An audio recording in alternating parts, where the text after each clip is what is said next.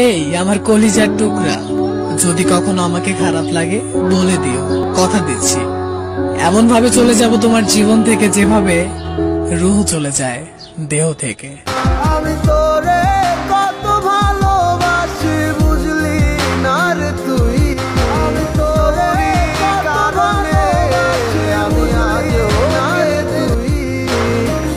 তুই কারণে